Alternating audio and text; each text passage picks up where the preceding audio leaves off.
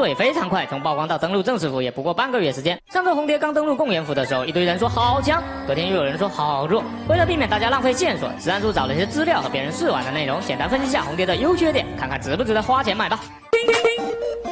先来看看红蝶的被动三项之身。游戏刚开始的红蝶就是美人像，移动速度快，恐惧范围非常小。虽然妆有点浓，不过还是很漂亮嘛。美人像的红蝶，只要攻击、使用技能、打烂板子、翻柜子，就会立马戴上面具，变成般若像，带来的效果是恐惧范围变大，移动速度降低一些些。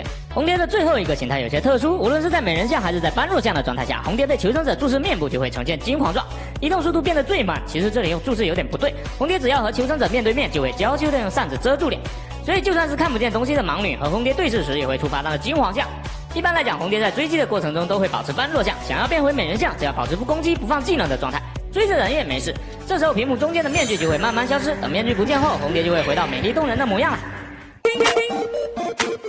接下来是红蝶的两个技能：刹那生灭和离破移魂。刹那生灭开局就可以用，只要视野范围内出现求生者，并且背对红蝶，红蝶就可以快速飞向求生者。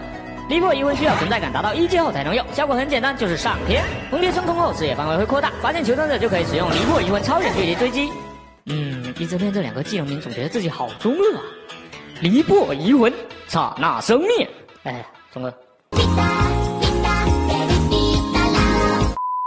不过在冲刺的过程中，求生者如果转头面对红蝶，红蝶就会因为变成金黄状而停在原地。所以求生者碰到红蝶最好的办法就是时不时看他一眼。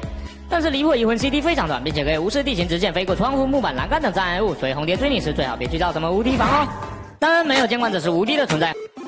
红蝶飞上天是很酷，可是求生者只要看着红蝶或者不出现在他视野里，红蝶就无法使用刹那生命。而且红蝶飞起来高度其实并不高，所以会被空姐的信号弹给打下来。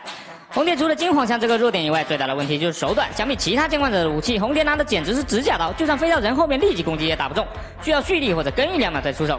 整体来讲，红蝶还是个蛮强力的监管者，不仅逼着求生者提高对地图的熟悉程度，而且还克制很多求生者的能力。比如说盲女本来视野范围就小，又要回头又要考虑逃生路线，忙得要死。刚买盲女的估计都要哭了。